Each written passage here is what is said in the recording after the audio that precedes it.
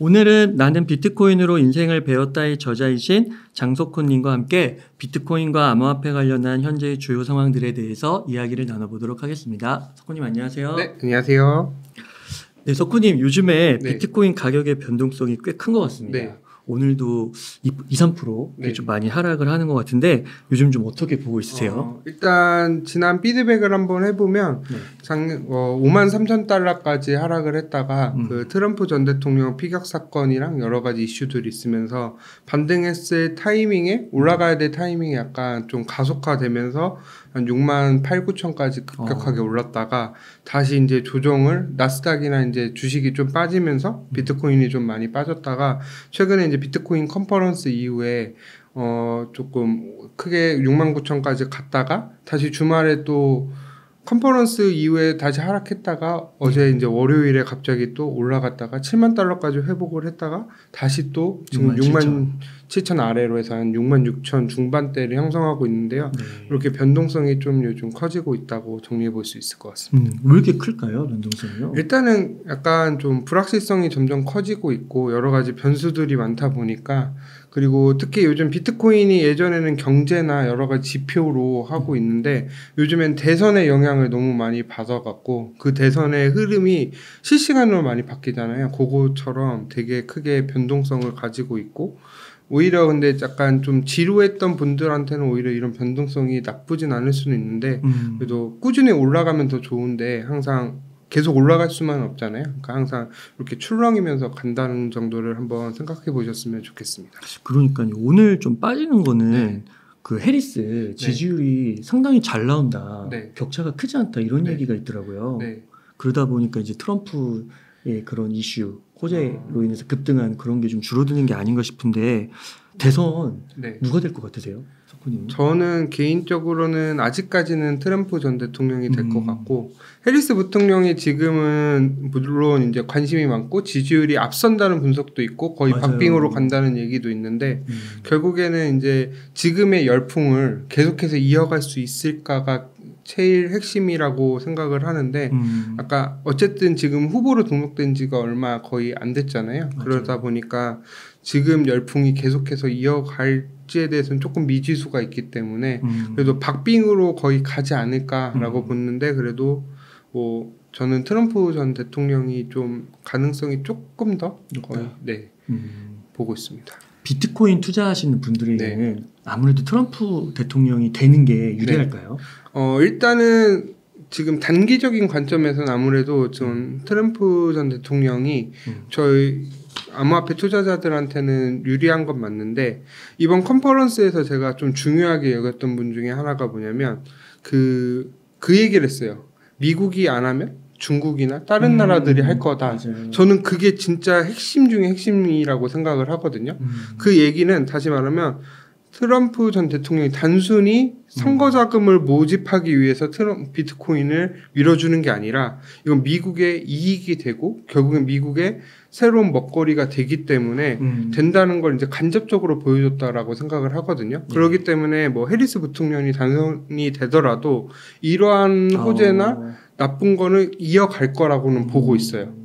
네, 다만 저희 이번 사이클에서만큼은 가격적인 측면에서는 아무래도 트럼프 전 대통령이 좀 더 긍정적이지 않나라고는 음. 보고 있습니다. 아 트럼프가 되든 해리스가 되든 네. 약간 뭐 시간의 문제지. 장기적인 관점에서 펀더멘탈이 바뀐 건 없는데 먹자. 그래도 저희는 일단 지금 당장에 조금 더 많이 벌고 싶은 욕심이 있잖아요. 음, 그런 걸 따지면 아무래도 트럼프 전 대통령이 음. 좋지 않을까라고 보고 있습니다. 그러면 단기적으로 네. 뭐, 뭐 올해 뭐 한 많은 분들이 이제 9월에 금리 인하 예상하시고 9월부터 이제 상승을 예상하시는 네. 분들도 있잖아요. 그래서 네. 연말까지 좋게 보시는데 이 가운데서 정말 20% 이상 이렇게 네. 좀큰 하락이 다시 한번 나올 거라고 보세요. 어, 저는 오히려 9월 달에 좀 조심해야 된다고 아, 보고 그래요? 있어요. 금리 인하가 어, 호재가 맞는데, 음. 그러니까 금리 인하가 저희가 지금까지 한 최근에 양적 완화를 항상 하면서 위기가 생기면 금리 인하랑 양적 완화를 통해서 음. 유동성을 공급해 주면서 저희가 됐는데 일단은 하나 생각하셔야 될 게 금리가 일단 높아요. 어,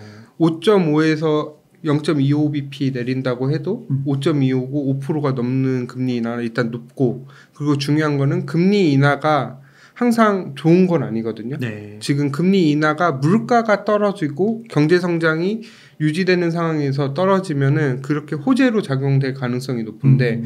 지금은 경기 침체 때문에 자꾸 미리 선제적으로 대응해야 된다는 이야기가 많이 나오기 때문에 금리 인하가 꼭 좋은지에 대해서는 한 번쯤 생각해 볼 필요가 있는 것 같아요. 음. 그래서 오히려 뭐 그럴 가능성은 매우 낮는데 금리 인하가 안 되면은 물론 처음엔 충동일 수도 있는데 오히려 조금 더 빠르게 반등할 수 있지 않을까라는 생각도 있어서 약간 금리 인하가 꼭 좋은지에 대해서는 생각을 해볼 필요가 있고 실제로 저도 약간 8월에 좀 기대를 좀 하고 있거든요. 네. 네, 8월에 상승을 하면은 9월에 좀 조심할 음. 필요가 있다라고 보고 있고요. 음. 그리고 제가 요거 차트를 하나 준비해 왔어요. 이게 보면은 비트코인 이제 월별 차트예요. 그러니까 월별 수익률 차트거든요. 여기서 보시면 제가 이제 9월에 이렇게 네모나게 어, 파란색으로 이렇게 표시를 해왔는데 여기 하나 특징이 보이지 않으세요? 여기 평균인데 밑에 어. 다 플러스인데 어, 그러네요. 9월 말 마이너스예요. 어. 그러니까 9월이 항상 안 좋아요. 네. 그리고 금융위기도 9월에 발생했고 항상 모든 게 한 9월에 많이 몰려 있거든요. 음. 그런 이유 중에 하나가 이제 회계 미국의 마감이 거의 9월에 많이 해요. 네. 쉽게 말하면 우리나라 연말 같은 느낌이다 보니까 거의 그때쯤에는 약간 리밸런싱 하면서 조, 조심하고 약간 몸을 사리는 분위기지 적극적으로 투자를 하질 않고 오히려 이제 10월 달 넘어가면서 좋을 가능성은 있는데 그렇기 때문에 약간 8월 달에 만약에 별 크게 상승 없이 가면은 9월에 그렇게 크게 하락을 안 보는데 음. 만약에 8월 달에 조금 한 1억 2천에서 1억 5천 정도까지 가면은 조금씩 좀 어느 정도 좀 리스크 관리를 해야 되지 않을까라고 보고 있고 음. 그 다음에 이제 만약에 어쨌든 대선까지는 제가 크게 무너질 거라고는 보지는 않고 있어요. 그렇기 때문에 대선 이후에도 과연 계속해서 올라갈 수 있을지는 아마 한 9월 달에 가봐야지 알 것 같습니다. 금리 하락이 막 네. 25%까지 뺄까요? 25%까지는 언제든지 조정이 오죠. 아. 지금 금리 인하 없는데도 음. 최근에 25%까지 빠졌잖아요. 네. 그렇기 때문에 항상 조정은 제가 저 책에서도 항상 언급했는데 항상 비트코인에 있어서 음. 30% 정도 조정은 언제든지 음. 발생한 거고 요즘에는 이제 한 20% 정도까지 빠지다가 이번에 25% 빠졌는데 맞아요. 요 정도 조정은 항상 있었던 있을 일. 있을 수 있기 때문에 너무 음. 지나치게 무조건 우상향을 하더라도 조정을 음. 거치면서 우상향한다는 걸 기억하셨으면 좋겠습니다. 그러니까 이게 지금 보여주신 표를 보니까 네. 지난 반감기가 2020년이잖아요. 네. 이때 거의 8% 빠졌네요. 그렇죠. 그러니까 작년이 음. 특이했어요. 음. 작년에도 좀 안 좋게 봤는데 음. 요때 이제 ETF 승인 기대감, 음. ETF에 대한 호재가 나오면서 생각보다 음. 잘 버텨주고 나니까 오히려 엄청 크게 상승을 했다는 걸 볼 수 있거든요. 음. 2020년도 오히려 크게 하락을 하고 와 대- 다음에 28%네요. 어뭐 와. 2021년도에도 많이 빠진 다음에 이렇게 크게 올라갔는데 음. 아무튼 9월 달에는 어쨌든 여러 아. 가지로 좀 조심은 해야 되지 않을까라고는 보고 있습니다. 그 지난 반감기로 봤을 때는 한 8% 빠지고 20% 40% 47% 오르고요. 네. 그 지지난 반감기 2016년에 16년에도 보면 보면은 요때는 오히려 플러스니까 어. 상승이 좀 적잖아요. 적네요. 그렇죠. 근데 18년 같은 음. 경우는 그 겨울 기간이니까 음, 하락이 더 커졌던 것 같고 그러니까 결론적으로는 9월을 좀 조심할 필요는 있지만 네. 연말까지 갔을 때는 좋게 본다.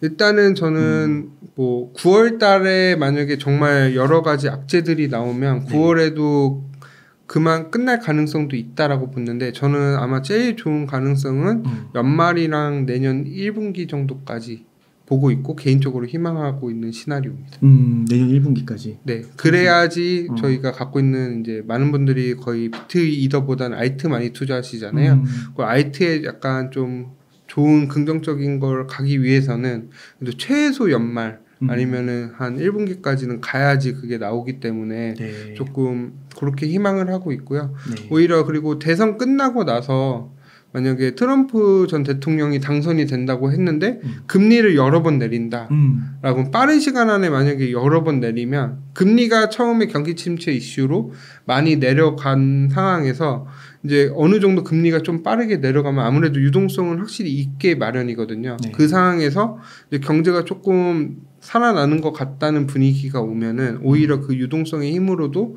살짝 올라갈 수도 있는데 다만 조심해야 될 게 금리 인하 때문에 비트코인이 막 3억을 넘어서 엄청 크게 상승한다 이런 너무 지나친 희망회로보다는 약간 저는 좀 보수적으로 보고 있습니다. 보수적으로요? 네. 그럼 내년 초 얼마 보시는 거예요?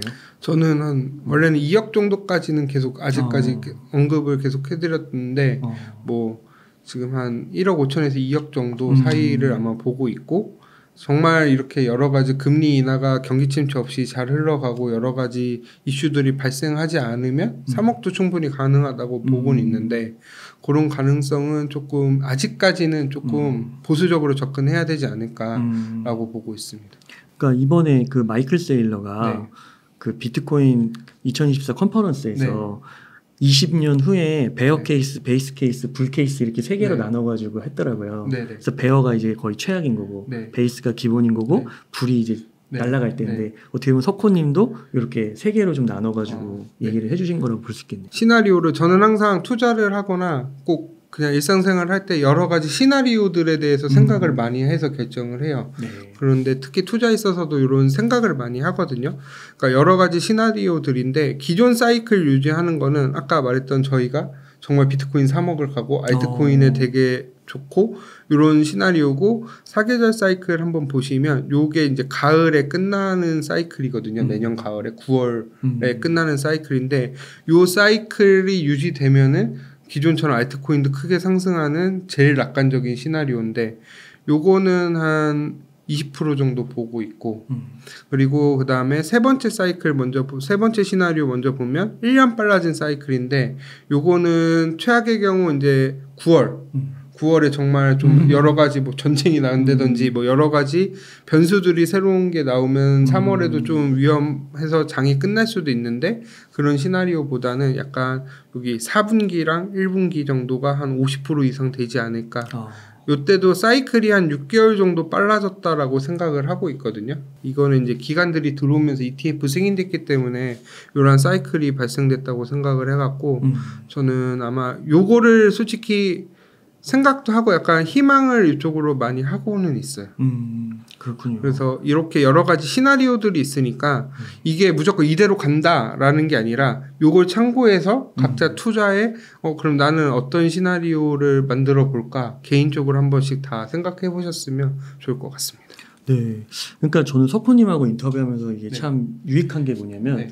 보통은 이제 많은 분들이 반감기 사이클을 이제 이번 네 번째니까 네. 첫 번째, 두 번째, 세 번째를 약간 뭐 평균을 낸다거나 아니면 최근에 사이클을 갖고 와서 내년 뭐 9월, 10월까지 이렇게 네. 보잖아요. 네. 근데 이제 그 석호님은 이렇게 항상 설명해 주실 때 중간에 어떤 변수가 터질지 사실 모르잖아요. 네, 그쵸. 특히 이제 매크로 변수들 네. 같은 거 그렇게 터질 때 이렇게 상황이 변할 수 있기 때문에 그쵸. 항상 시나리오를 여러 개 세워두는 거. 그러니까 제가 이렇게 하는 이유가 말씀해 주신 것처럼 음. 어떤 변수가 올- 올지 모르니까 최 대한 여러 가지 시나리오들을 한번 세워보고 그쵸. 그거를 한번 생각해 본 거랑 음. 안 해본 거랑 그거랑 또 똑같이는 가지 않지만 비슷하게 갔을 때 나는 어떻게 해야 될 거고 만약에 그때도 잘못할 수가 있잖아요. 음. 그랬을 때 어 나는 이렇게 봤는데 이게 이렇게 움직이네 그러면은 왜 이렇게 움직였는지 새로운 분석을 또 할 수가 있기 때문에 네. 저는 그런 식으로 여러 가지 다양하게 좀 하고 무조건 투자에 있어서 불확실성이 너무 크기 때문에 100%라는 건 없잖아요. 그쵸, 공식은 그렇기 없죠. 때문에 네. 어, 항상 이런 변수들을 고려해서 준비하시는 걸 추천드리고 있습니다. 그 진짜 그 투자를 할 때 공식이나 법칙이 네. 있는 게 아니기 때문에 진짜 석호님께서 제가 말씀해주신 대로 지금 이제 뭐 예를 들면 트럼프 해리스 이런 이슈가 나왔을 때 이게 정말 이번 사이클에 영향을 미칠 것인지 네. 경기 침체 요소가 미칠 것인지 그렇죠. 이러한 것들을 계속 추적 관찰을 좀 잘 해야 되지 않을까 싶습니다. 그렇군요. 그 이번에 비트코인 2024 컨퍼런스가 되게 핫했잖아요. 네. 트럼프 대통령도 오시고 막 상원 네. 의원도 오시고 네. 그리고 되게 유명한 인사분들이 많이 오셨는데 혹시 이 가운데서 좀 인상 깊었던 내용 있으셨을까요? 어, 앞서 말씀드렸던 그 미국이 먼저 해야 된다. 그리고 음. 아무래도 좀 준비 자산 쪽도 아마 이슈가 나올 거라고 했는데 준비 자산 이야기는 안 하기로 해 갖고 안 하고 전략적으로 비축한다라고 얘기를 했거든요. 맞아요. 그 말은 결국에는 그 비트코인이 이제 약간 제도권에 편입이 되면서 음. 지금은 비트코인이 위험 자산이잖아요. 이제 안전 자산으로 가는 과정에 있지 음. 않나라고 보고 있고 정말 금처럼 디지털 금이라고 많이 얘기하잖아요. 네. 그런 과정으로 가는 방향성에 있지 않나.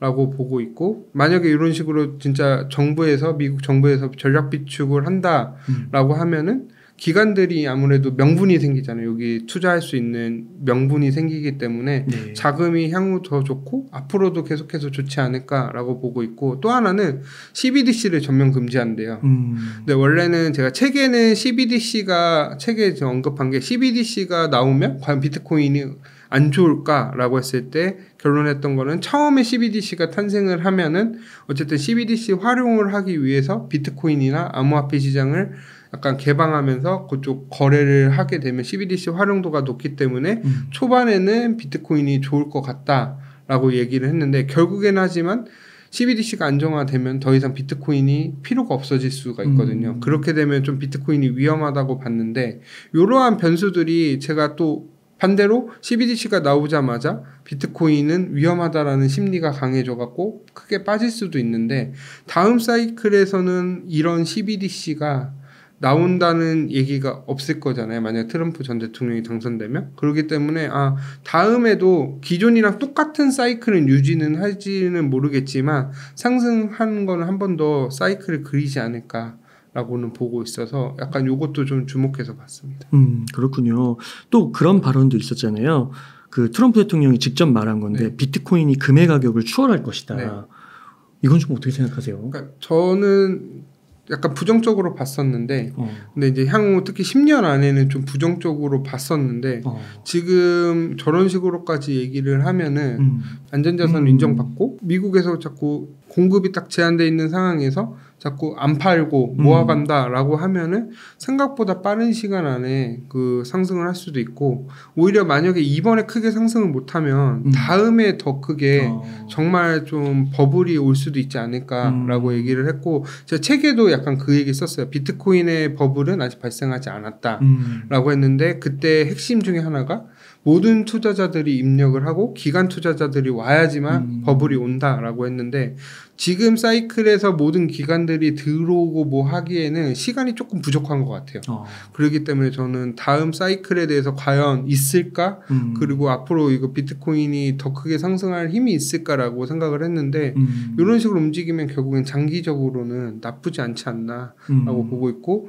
결국에는 금 시총을 추월할 가능성도 충분히 있고 그거 그게 생각보다 빨리 올 수도 있다. 음, 다만 이럴 때는 정말 조심해서 우리가 투자를 해야 되는데 음, 뭐 지금 떨어질 걱정을 할 때는 아니고 저희가 어쨌든 장기적인 관점에서는 결국엔 나쁘지 않고 음, 다시 한번 말씀드리지만 미국이 새로운 금융 패권을 가지기 위한 방법으로 비, 어, 비트코인이나 암호화폐를 선택할 가능성이 높고 그러기 때문에 블랙록이랑 이런 데서 ETF를 나오고 SEC에서도 승인해주지 않았나 라고 보고 있습니다. 석호님에게 장기는 한 몇 년 정도예요?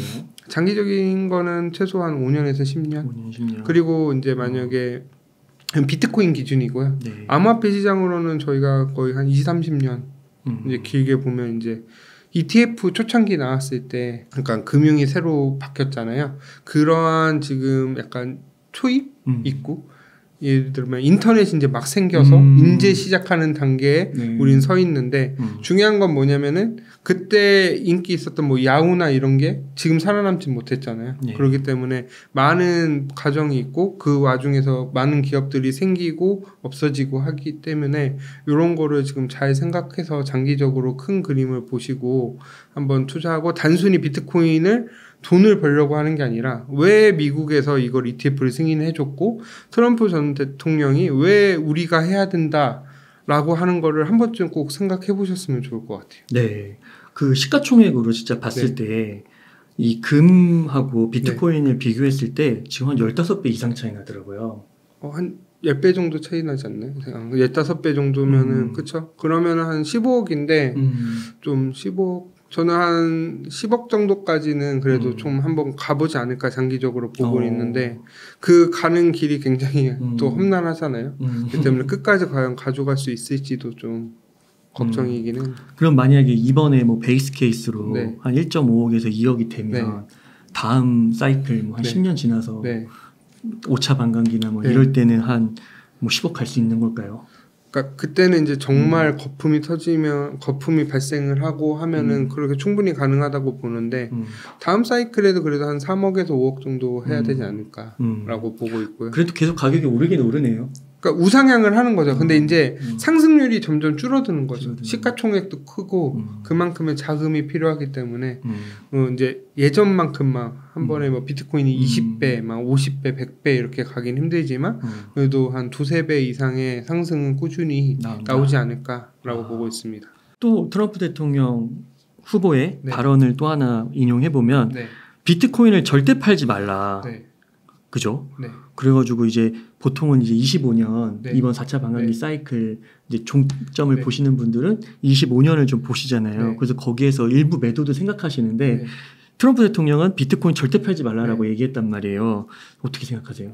그 오늘 아침 뉴스 보니까 미국에서 팔았다고 또 얘기가 아, 나오더라고요.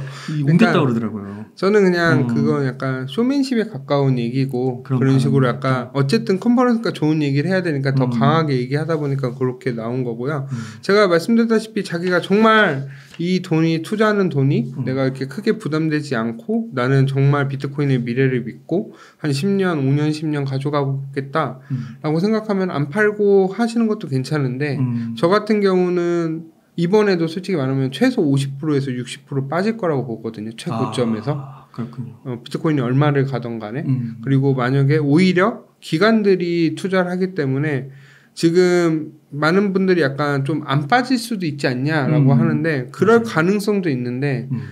오히려 반대로 비트코인을 사지 않을 이유가 나오게 되면은 음. 하락이 하락을 부르면서 매물이 기간이 던지기 시작하면은 오히려 더 크게 하락도 할 수 있기 때문에 네. 너무 지나치게 무조건 비트코인이 안 빠진다. 과거랑 다를 거야. 항상 투자에 있어서 제일 조심해야 될 말이 이번엔 다를 거야라는 말이잖아요. 음. 그런 거 조심하셔서 저는 할 거고 저는 지난번에도 말씀드렸지만 웬만해서는 다 팔 것 같고 어. 만약에 알트코인들 제가 보유하고 있는데 정말 믿는 것들 중에 만약 상승을 못했다.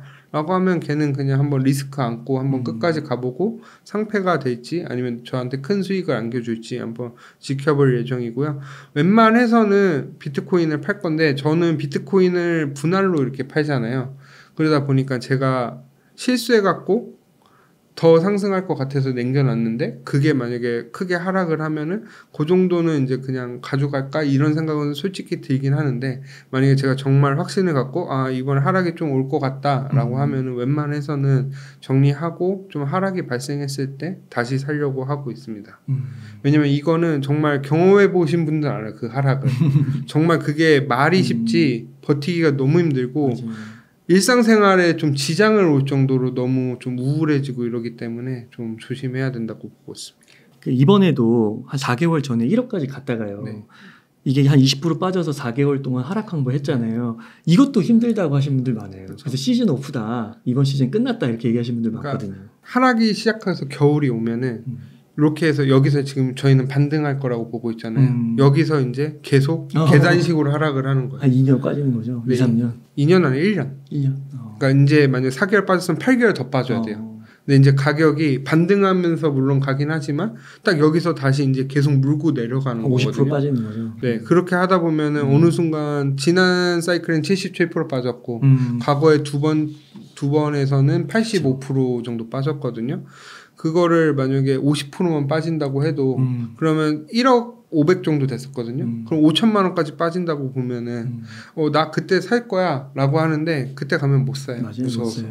이번에 뭐 20% 빠져도 못 사는데요. 왜냐면 그때 되면은 음. 딱 이런 얘기가 나올 거예요. 만약 정말 막 트럼프 대통령 당선됐는데 갑자기 말을 바꿨어요. 음. 어 비트코인 이제 인정 안 할 거야. 음. 그 상황에서 그런 악재나 여러 가지 있는 상황에서 비트코인을 살 수 있는 용기는 안 나요. 음. 저도 안 못 날 것 같고. 음. 근데 그거를 진짜 꾸역꾸역 참고 사는 사람이 나중에 크게 이제 돈을 맞아. 벌 텐데 그게 정말 쉽지 않고 이번에 알트코인들이 엄청 많이 하락했잖아요. 음. 근데 본인이 정말 믿는 코인이라면 저는 물을 타야 된다고 아, 보고 있는데 그렇죠. 그게 손이 안. 나가요. 정말.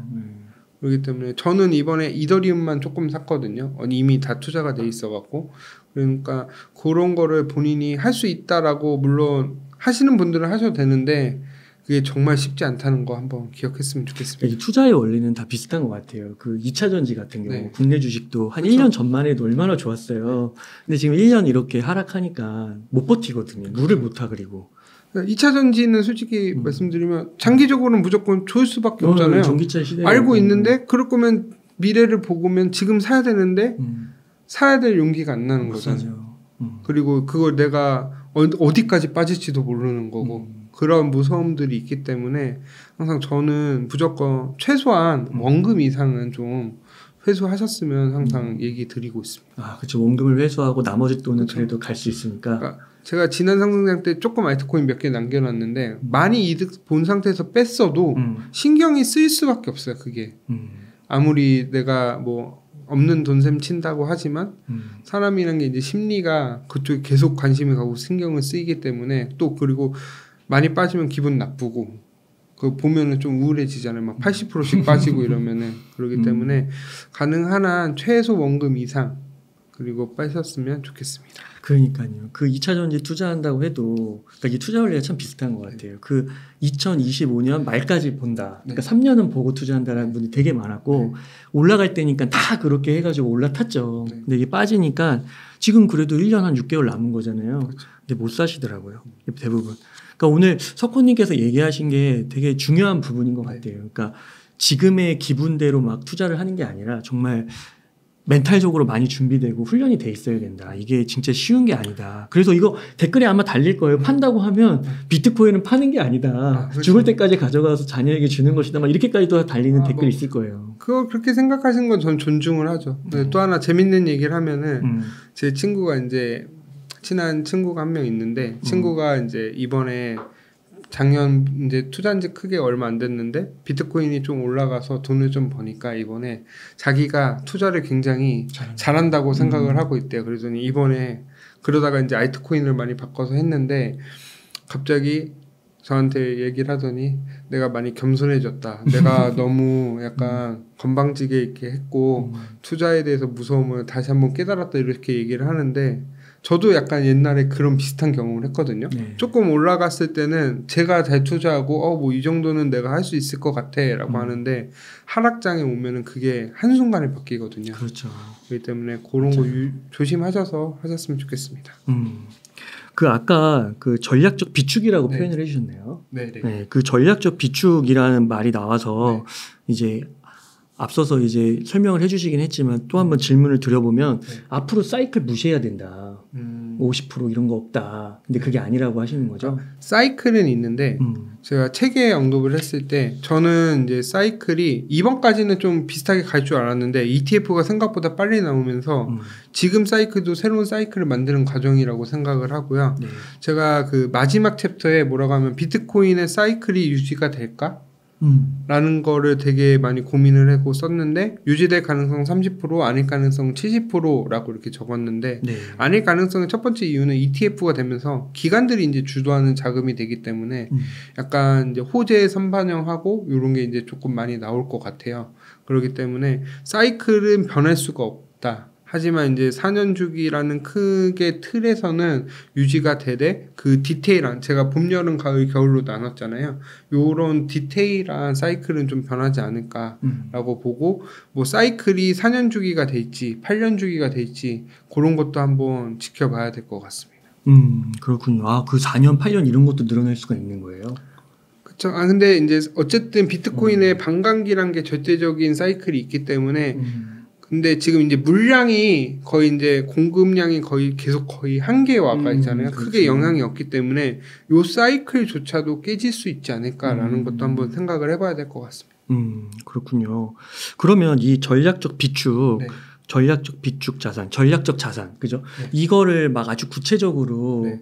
그 언급은 하지 않았고 용어도 약간 다르게 그러니까 트럼프 네. 준비 자산을 원래 음. 얘기를 했거든요. 준비 자산을 말 그대로 그냥 어, 저희가 reserve asset 네 그게 아니었죠. 그죠? 그건 아니었고 그냥 어. 비축을 한다는 아. 정도였고 정확하게 말씀드리면 이제 준비 자산은 예를 들면 우리나라나 이제 미국 이외의 다른 나라들은 외환 확보를 필요하잖아요. 음. 그렇죠. 그렇기 때문에 이제 기축 통화나 금이나 이런 것들을 보유하고 있는데 미국도 약간 어떤 리스크를 대비해서 다른 나라의 기축통화나 금이나 이런 걸 하는데 그 거기에 비트코인을 편입하는 한다는 거예요. 음. 그렇게 되면 완전 안전자산으로 되는 거죠. 어. 네, 그러기 때문에 하지만 그렇게까지 얘기할 거라고 기대를 했는데 네. 그거를 기대를 생각보다 얘기를 안 해갖고 약간 음. 하락했다라는 이야기도 나오고 그래서 약간 부랴부랴 그 상원 의원이 나와서 법안 발의 준비하고 있다 뭐 음. 이런 식으로 해서 약간 위로는 해줬지만 그래도 너무 크게 기대를 했던 것 같아요 이번에 보니까 음. 그거 약간 좀 실망이 나왔고 딱 7만 달러라는 약간 심리적 저항선 저항선이나 여러 가지가 맞아 떨어지면서 조금 하락이 한 5% 정도 나오지 않았나 보고 있는데 음. 그래도 결국엔 이러한 호재가 나쁘진 않고 반대로 해리스 부통령 측에서도 암호화폐 기업들 많이 만나려고 접촉하고 있다. 맞아요. 그리고 박빙으로 가면 갈수록 어쨌든 간에 자기 한 명이라도 더 이제 투자 맞아요. 이제 지지율을 얻기 위해서 나쁘게 얘기는 하지 않고 음. 그리고 다시 한번 말씀드리지만 미국에서는 이미 암호화폐를 받아들이기로 결정을 했고 음. 큰 틀에선 변함이 없다라는 것만 좀 기억해 주셨으면 좋겠습니다. 네. 그 준비 자산이 되면 네. 정말 그 reserve asset이라는 네. 용어를 쓰게 되면 네. 가격 폭등이 올까요? 아, 그렇죠. 그렇게 되면은 제가 봤을 때 그거는 정말 법안이 발의돼서 된다라고 하면은 기관들이 이제 포트폴리오를 구성을 할 때 강제로 넣을 수밖에 없을 거예요. 음. 그러면은 수요가 생길 수가 있기 때문에 지금이랑 음. 차원이 다른 수요가 오기 때문에 음. 저는 그게 엄청난 호재라고 보는데 네. 전 솔직히 말씀드리면 회의적이긴 해요. 음. 왜냐하면 지금 인재 ETF가 나오고 음. 이제 초창기 아까 인터넷 인지 시작했다고 음. 말씀드렸잖아요. 그런 상황에서 요거를 과연 너무 무리하게 추진하다가 오히려 비트코인한테 안 좋을 수도 있기 때문에 저는 어느 정도 좀 안정이 되고 났을 때 진행되는 게 좀 더 좋지 않을까라고 보고 있고 아마 트럼프 전 대통령이 당선돼서만 이거 추진한다고 하면 반대에 되게 저항을 많이 부딪힐 것 같아요. 음. 때문에 지금 뭐 이걸 기대해서 뭐 무조건 갈 거야 이런 것보다는 그래도 음. 어쨌든 받아들이는 과정에서 이제 서서히 변화하고 있는 우리가 핵심 지금 위, 시기에 있다라는 정도만 생각하셨으면 좋겠습니다. 음. 결국은 될까요? 결국엔 근데 이게 저는 어. 확답을 못 드리는 게 진짜 CBDC가 나와서 정말 비트코인이 필요가 없어지거나 만약에 정말 비트코인에 대해서 필요가 정말 없어지는 일들이 만약에 발생하게 되면은 준비자산 편입이 안 될 수도 있기 때문에 음. 조금 제가 뭐 확답은 못 드리고 아마 요거에 대해서 제가 뭐 나중에라도 정리가 되거나 아니면 어떤 아이디어가 있으면은 다음에 한번 말씀드리도록 하는데 저는 지금은 그 준비 자산에 대해서 이런 거는 그냥 호재성 음. 이슈 그냥 상승에 위한 약간 호재성 재료 정도로만 생각을 하지 요게 지금 당장 편입되기는 좀 어렵지 않을까라고 음. 보고 있습니다. 약간 시기상조일 수 있겠네요. 네. 너무 이르다. 다음 사이클에 뭐 이게 음. 될 수는 모르겠지만 이번 사이클은 안 되지 않을까. 음. 와, 그러니까 이게 또 되게 큰 지금 말씀 가운데 생각해 볼 지점이 비트코인을 좋아하시는 특히 뭐 비트코인 소위 maximalist 네. 이런 분들은 비트코인이 없어지고 활용성이 없어진다 여기에 대해서 전제가 없거든요. 그 그쵸. 전제가. 근데 그거를 한번 의심을 해보는 거잖아요. 그그 차이가 또 되게 큰 것 같아요. 그러니까 제가 아까 야후도 말씀드렸던 음. 게 뭐냐면 음. 저는 비트코인도 앞으로 중요하지만 음. 비트코인 생태계를 통해서 새로운 기업들이 엄청 나올 거거든요. 음. 그럼 거기서 이제 기업도 나오고 주식도 나오고 코인도 나올 수도 있고 여러 가지가 나와서 그런 데서 오히려 더 큰 기회를 찾을 수 있지 않을까. 음. 비트코인이 꾸준히 우상향하는데 이제 막 두 배 정도씩 올라가기 시작하면은 저희가 이제 비트코인을 두 배를 보고 투자를 하는 게 아니잖아요. 그때 되면 이제 비트코인보다 다른 투자가 오히려 더 많은 이득을 주지 않을까라고 해서 비트코인도 좋지만 비트코인에서 나오는 그런 생태계랑 앞으로 이제 새로운 세상을 어떻게 받아들이고 준비하는지가 중요하다라고 저는 계속해서 보고 있습니다. 그러면 혹시 네. 그런 가능성도 있고 네. 근데 예를 들어 이제 마이클 세일러 같은 네. 경우는 1 비트코인이 네. 한 20년 지나서 막 180억, 네. 630억 막 이렇게 얘기한단 말이에요. 근데 이게 알트코인도 사실 모르는 거고 네. 비트코인도 모르는 거고 네. 근데 그 둘 중에 그래도 어느 정도 안다고 하는 게 암호화폐 쪽에서 네. 분명하다고 하는 게 비트코인이잖아요. 그렇죠. 그래서 이런 막 180억, 630억 이런 발언들에 대해서는 어떻게 생각하세요? 일단은 공급량이나 이런 걸만 봤을 때는 음. 틀린 말은 아니거든요. 음. 근데 항상 제가 말하는 거는 그거를 몇십 년 뒤를 너무 내다보는 거는 지금 앞에 1년 뒤에도 무- 저희가 어떤 일이 발생할지도 모르는데 물론 그렇게 믿고 투자를 해야지 약간 하락장이나 이럴 때는 좋은데 음. 지나치게 오히려 긍정회로를 버리면은 투자에 잘못된 길로 빠질 수가 있거든요. 네. 그렇기 때문에 저도 물론 180억 가면 저는 되게 좋죠. 저도 투자하는 입장에서. 네. 하지만 그렇게 너무 희망회로만 굳지도 말고 약간 좀 안 될 가능성도 생각을 해보고 물론 터무니없는 얘기가 실현될 수도 있죠. 그렇기 때문에 그게 이제 뭐 그런 관점이 있구나라는 걸 정비하면서 아까 시나리오 말씀드렸잖아요. 여러 개 시나리오 중에 하나로 음. 생각만 하셨으면 좋겠습니다. 네. 그 민주당도 네. 점점 포지션이 바뀌어서 네. 그 점점 더 말씀해 주신 대로 친암호화폐적인 발언도 하고 네. 미팅도 하고 막 이러잖아요. 그리고 이제 대표적으로 게리 겐슬러를 네. 이제 해임한다. 네. 뭐 이런 얘기까지도 네. 하더라고요. 게리 겐슬러는 해임이 되겠죠. 근데 말은 했으니까 아마 할 것 같은데 음. 근데 저는 좀 앞뒤가 안 맞는 게 음. 게리 겐슬러가 ETF 승인해 줬잖아요. 음. 그 ETF 투표했을 때 그 2대2 나왔는데 게리 겐슬러가 결국엔 찬성표 던져서 승인된 거잖아요. 음. 그러면 그게 과연 반암호 화폐적인 건가? 음. 물론 본인이 이제 성명문에 난 정말 하기 싫었지만 어쩔 수 없이 했다라고 이렇게 했는데 저는 과연 그 게리 겐슬러가 정말 음. 이렇게 반 암호 화폐에 정말 배척하고 이런 사람인지에 대해서도 생각을 해볼 필요도 있고 음. 아마 근데 어쨌든 BT 이더 정도 ETF가 통과됐으면 사실상 거의 대부분 통과됐다고 보고 있거든요. 음. 근데 이제 저는 기존의 알트코인들이 이제 ETF 될지에 대해서는 더 지켜봐야 되겠지만 저는 오히려 새로 아까 나오는 기업들 진짜 정말 금융기관들 전통 금융기관에서 나오는 코인들이 오히려 ETF들이 많고 이렇게 저희 섹터별로 이렇게 했잖아요. 뭐 2차 전지 섹터 뭐 이렇게 친환경 섹터 이렇게 ETF가 나오잖아요. 코인도 그런 식으로 가지 않을까라고 음. 하고 이제 BT 더 비율이랑 이런 알트 코인들 비율 섞어서 여러 가지 상품들이 지금은 아니더라도 만약에 진짜 준비 자산이 되거나 이런 식으로 되면은 ETF가 폭발적으로 나오지 않을까라고도 음. 보고 있습니다. 그러니까 최근에 보니까 비트코인, 이더리움, 네. 솔라나 네. 이렇게 묶은 거 하나 뭐 만들겠다 이런 얘기 나오더라고요. 그러니까 저는 지난번에도 한번 말씀드렸는데 솔라나 단독으로는 지금 힘들 것 같아요. 음. 왜냐하면 아직 선물 ETF도 안 났기 때문에. 근데 이제 그렇게 섞어서 비율을 음. 어, 약간 비트 90% 이더 뭐 19% 솔라나 1%뭐 이런 식으로 극단적으로 얘기는 하지만 이런 식으로 나올 가능성이 있고 근데 저좀 걱정되는 게 이런 게또 음.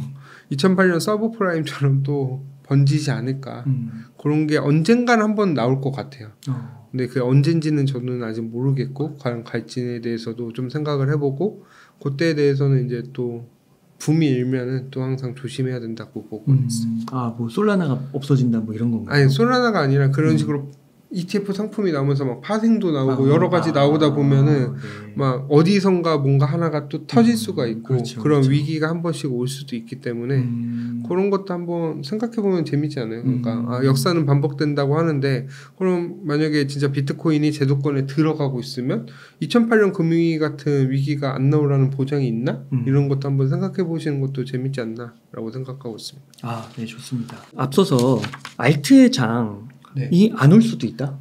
뭐 안 올 수라기보다는 제가 음. 항상 알트코인 투자에 있어서 제일 강조했던 게 음. 최신 알트코인만 투자했으면 좋겠다. 어, 최신. 옛날 거는 웬만하면 관심이 없기 때문에 어. 왜냐면 제가 책의 에피소드 중에 하나에서 제가 알트코인이 이제 구 메이저 알트코인이 못 올라간 거에 대해서 제가 이야기를 써놓은 게 있거든요. 그걸 보면은 옛날 알트코인은 상대적으로 관심이 없고 음. 실제로 비트코인, 알트코인 솔직히 말씀드리면 수익이 나서 하는 게 거의 없잖아요. 거의 음. 99% 이상 없다라고 보는데 그런 상황에서 이 알트코인들이 크게 상승할 수 있는 동력이 힘들기 때문에 옛날 코인들보다는 최근에 나왔던 코인들을 자꾸 언급을 했고 음. 다만 뭐 솔라나 이더리움 뭐 이런 거 펀더멘탈 좋다라고 하는 것들은 정고점 뚫으면 저는 아직도 나름 나쁘지 않다라고 보고 있기 때문에 음. 알트코인에 대해서 한번 보수적으로 생각해 보셨으면 좋겠고 음. 그리고 저도 알트코인을 좀 많이 투자는 하고 있는데 그렇기 때문에 그 알트코인이 상승을 하기 위해서는 약간 올해 최소 올해 한 10월, 11월 이, 이 지나야지만 비트코인이 크게 이제 하락하지 않고 상승해 준다는 가정하에서 그게 있어야지만 알트코인이 상승한다고 보고 있기 때문에 그 가능성이 만약에 정말 운이 없이 9월에 뭐 말씀드렸듯이 뭐 상승장이 끝났다. 음. 라고 판단이 되면은 알트코인은 그 상승하지도 못하고 하락할 가능성도 있다라고 음. 보고는 있어요. 근데 그럴 가능성은 좀 낮다라고는 보고 있습니다. 음, 그럼 만약에 알트코인 시즌을 좀 네. 예상한다 그러면 뭐 어떤 조건들이 좀 완성이 돼야 돼요? 일단은 비트코인이 한 1억 2천 최소 1억 2천인데 제 생각에는 1억 5천 이상 넘어야 되고 음.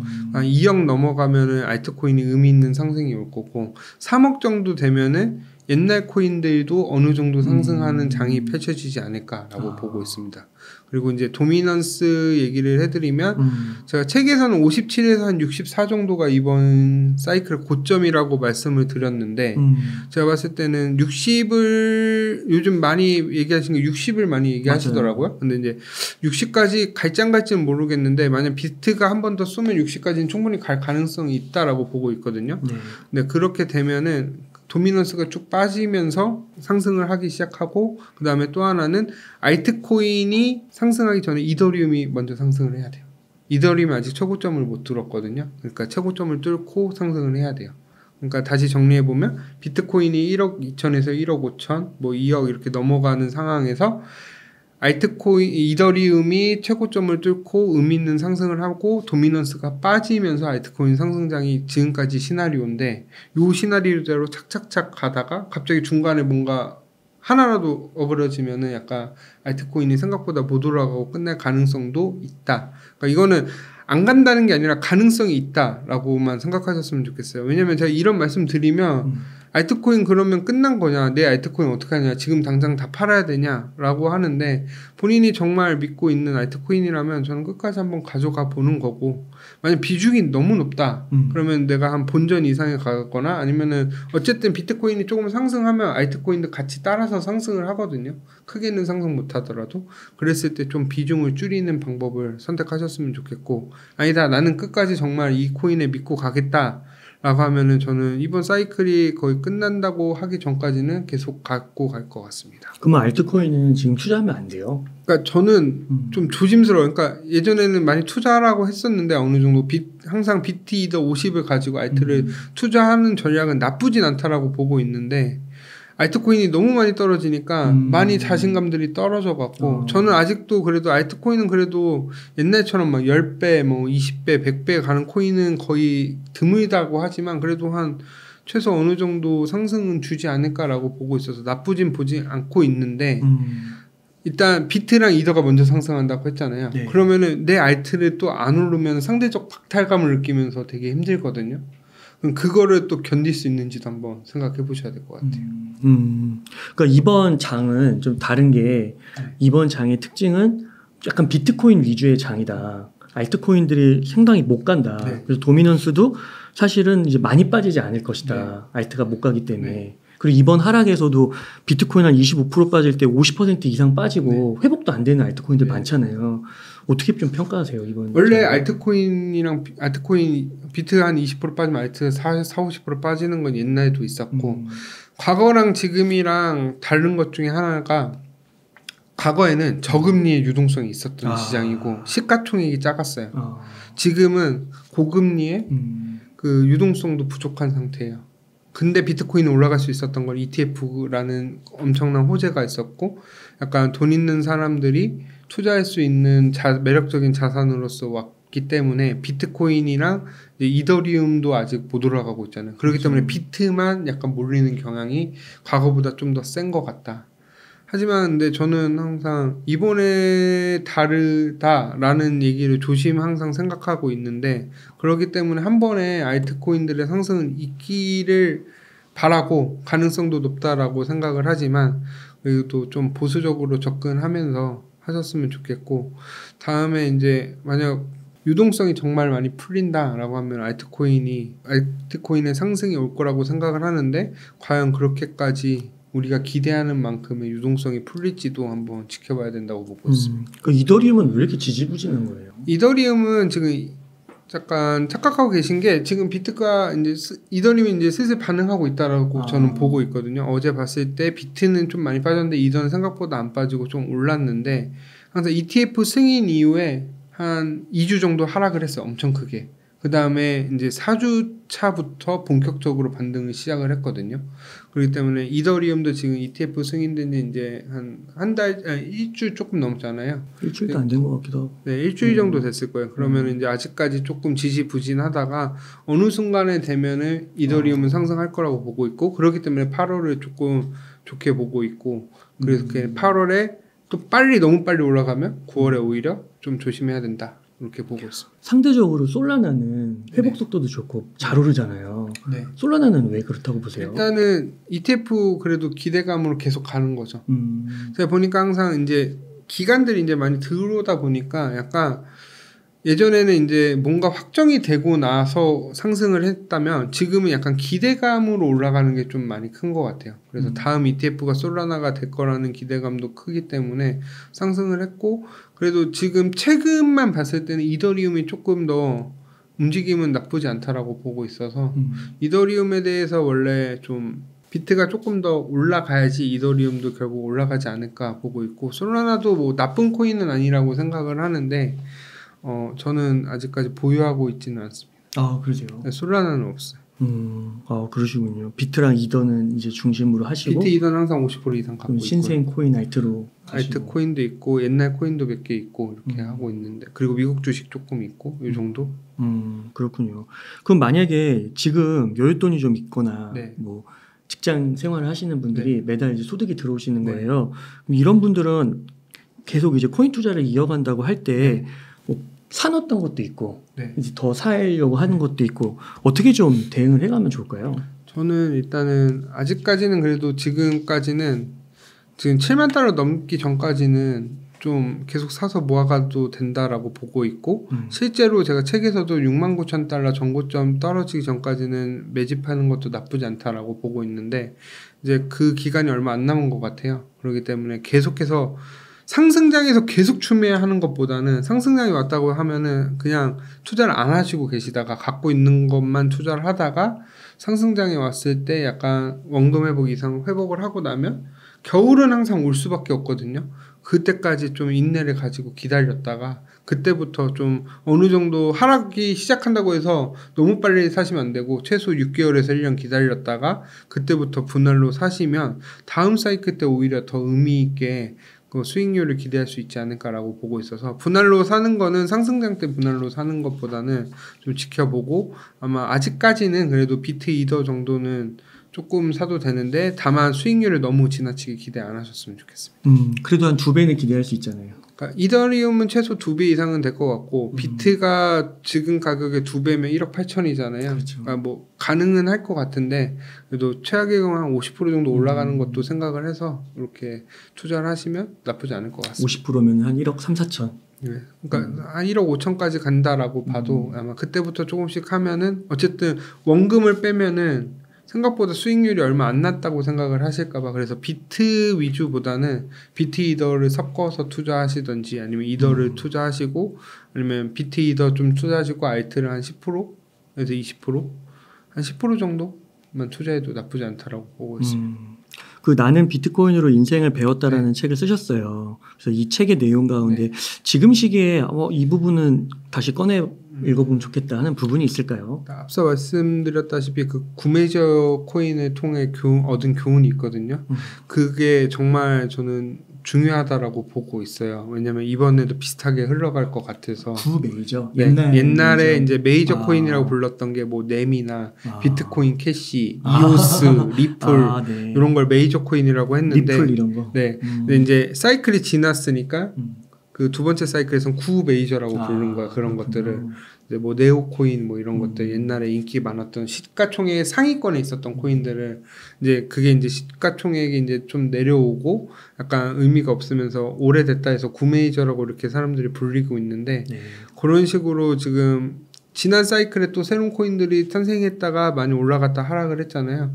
그런 코인들이 못 올라간 것처럼 이번에도 그럴 가능성도 있기 때문에 그런 챕터 한번 읽어보셨으면 좋겠고 음. 저는 개인적으로 저희 책은 되게 쉽게 쓰려고 노력을 했고 어쨌든 사이클에 대해서 하고 있고 지금 와서 봤을 때 뭐 맞힌 것도 있고 틀린 것도 있는데 뭐 맞췄다 틀렸다 이런 것보다는 에피소드가 되게 많거든요. 27개 정도 되니까 이 에피소드를 통해서 간접적으로 한번 체험을 해보시고 그 다음에 여기 도미넌스 앞서 말씀드렸다시피 이더가 올라가고 도미넌스가 내려가야지 알트코인은 올라간다 그런 내용도 다 정리가 돼 있으니까 어, 되게 금방 읽을 수 있으실 것 같아요. 하루면은 충분히 읽을 수 있다라고 생각을 하기 때문에 전체적으로 한 번씩 읽어봐 주셨으면 좋겠습니다. 음, 그러면 지금 비트랑 이더랑 이게 모아가다가 이제 알트 시즌이 온 거예요. 네. 아까 말씀해주신 첫 번째 뭐 비트코인 가격이 1억 3천을 넘고 1억 5천 뭐 이렇게 가고 그 다음에 두 번째 이더리움도 전고점을 돌파하고 이런 조건들이 충족이 돼서 알트 시즌이 왔습니다. 네. 혹시 조심스럽게 공부하는 차원에서 네. 추천이 아니라 알트코인을 너무 추- 그 투자를 하고 싶은 네. 거예요. 한번 잡아보고 싶은 네. 거예요. 기회를 또 기다려야 되니까 네. 4년. 좀 공부해 볼 만한 알트코인이 있을까요? 저는 저번에도 알트코인 몇 개 얘기했는데 뭐 AI 코인은 요즘에 AI 관련주가 너무 안 좋아서 어, 약간 되게 부정적으로 보시는데 그래도 약간 신생 코인이고 AI에 대해서는 조금 과거 엄청 큰 기대한 것만큼은 수익률이 생각보다 못 갈 수도 있다라고 생각이 들지만 그래도 그쪽에 한번 투- 공부 공부라기보다 한번 투자도 나쁘지 않다라고 보고 있고 저는 약간 RWA를 되게 좋게 보거든요.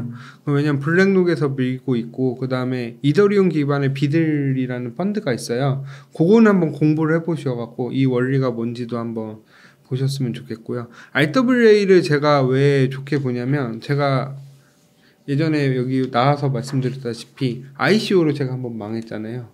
그때 믿음 중에 하나가 뭐냐면 모든 것이 코인화가 된다. 음, 그거를 꿈을 꾸고 투자를 했었는데 그게 이제 잘못된 투자로 간 건데 결국엔 그게 블랙록이나 전통 기관에서 하는구나 정말. 그게 이제 RWA랑 비슷하거든요. 그렇기 때문에 RWA가 뭔지.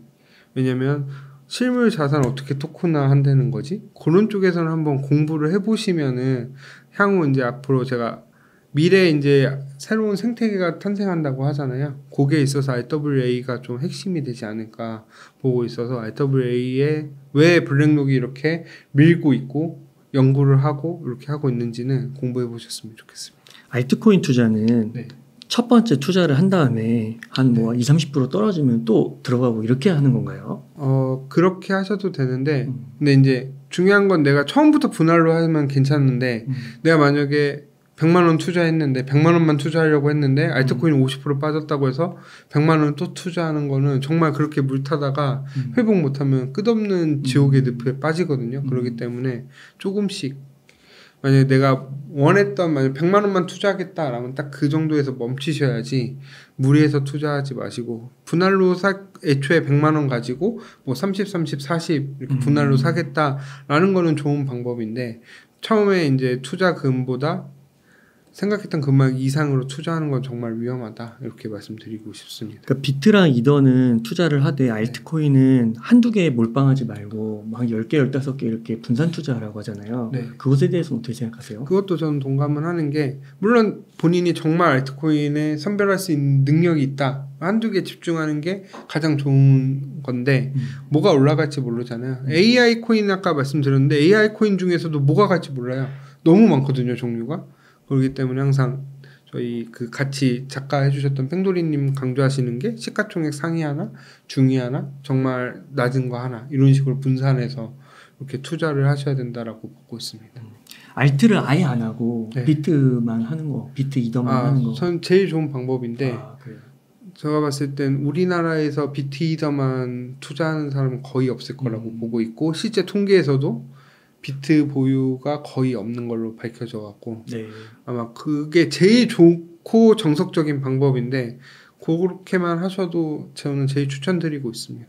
그러니까 저는 최근에 이슈 중에 하나가 그 월드코인이요. 네. 그 월드코인을 갑자기 그 물량이 갑자기 풀려 어, 물량이 갑자기 풀렸잖아요. 네, 사전에 알고 맞아요. 그래서 사전에 내부 거래도 있을 수도 있고 아무튼 그런 거 보면서 야 이거 비트코인의 그 탈중앙화라는 개념이 정말 중요하고 알트는 사실 너무 어렵다 이거는. 그러니까 네.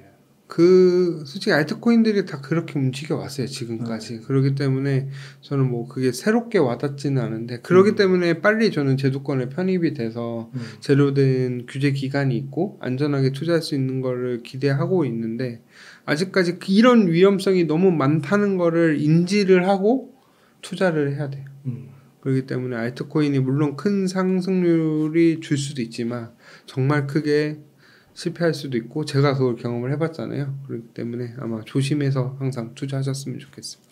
네, 그래서 이 암호화폐 쪽에 투자하시는 분들은 코인 투자하시는 분들은 공부를 정말 많이 해보시면 좋을 것 같고 변동성이 큰 만큼 멘탈 관리하는 데 있어서 나는 비트코인으로 인생을 배웠다 네. 책에서 정말 이더리움 물타기의 끝판왕 사례도 나오잖아요. 네. 10분의 1 토막 나는 거. 네. 그러니까 그런 것들을 꼭 한번 읽어보시면 너무 좋을 것 같습니다. 이게 사실 비트랑 이더만 투자해도 주식 투자에 비해서는 그쵸. 상당한 수익률이잖아요. 근데 그거 이상으로 하는 게 과연 아니, 과욕이 아닐지 지나친 네. 욕심이 아닐지 이런 부분들 좀 냉정하게 해- 파악을 해야 내 귀한 돈을 잃지 않지 네, 않을까. 맞습니다. 네, 좋습니다. 그 석훈님 오늘 이렇게 너무 귀중한 insight 네. 감사드리고요. 시청자님들께 끝으로 한 말씀 좀 부탁드리겠습니다. 아, 요즘 비트코인에 다시 관심을 많이 받고 있는데 약간 대선 쪽에서 많이 관심을 받고 아, 있어. 관심이 많나요? 김프가 한 1%도 안 나오는. 아, 그 제가 어. 말씀드리는 관심은 일반 대중에 대한 관심이 어. 아니라 약간 뉴스에서 약간 아, 이렇게 띄워주고 약간 비트코인 다시 또 대선이랑 연결지어서 계속 얘기를 하더라고요. 음. 그래서 약간 어쨌든 가고 지금 비트코인이 최근에 5만 3천까지 하락을 하고 저도 솔직히 이렇게까지 빠질지는 몰랐고 정확히 말하면 틀렸죠. 하지만 그런 와중에도 빠르게 반등하는 걸 보면서 아 비트코인 정말 항상 반전에 반전을 음, 기하는구나 맞아요. 그리고 항상 이제 상승을 좀한 번 더 한 번은 더 있을 거라고 보기 때문에 벌써 너무 지치고 힘드신 분들도 계실 거라고 생각을 하거든요.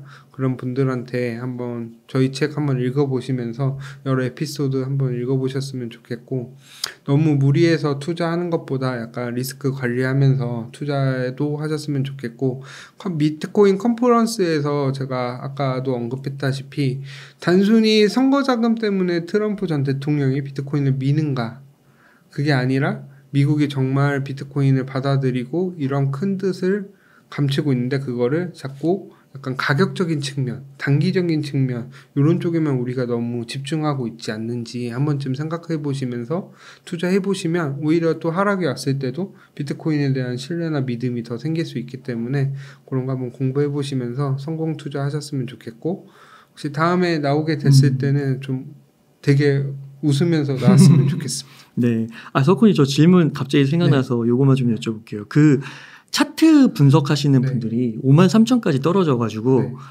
5만 3천까지 떨어진 다음에 6만 7천까지 확 올라왔잖아요. 7만도 넘었고 이게 차트적으로는 설명이 잘 안 된대요.